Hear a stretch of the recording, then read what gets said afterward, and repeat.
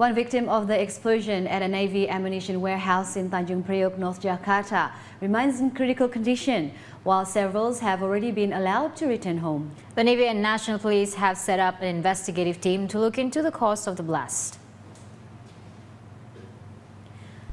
Master Sergeant Midi continues to be in critical condition with a hemorrhage of the brain caused by objects hitting his head during the explosion. He remains unconscious at the Port Medical Center in Tanjung Priok.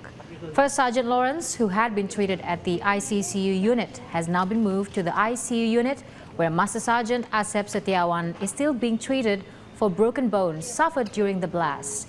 Deputy Health Minister Ali Gufron said the government will bear all medical costs for the victims. A total of 29 other victims also remain under treatment at the Mintohardjo Navy Hospital in South Jakarta. Security measures at the site on the explosion have been beefed up to allow the investigation to proceed without delay. The investigative team is to work along with the National Police Forensic Laboratory to search for the cause of the explosion that damaged 10 buildings and left one person dead.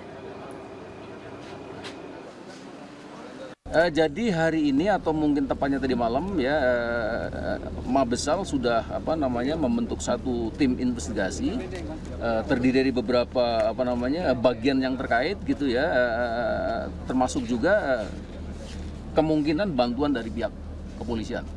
Dalam ini puslapor karena sebelumnya sudah ada pembicaraan ya antara Kasal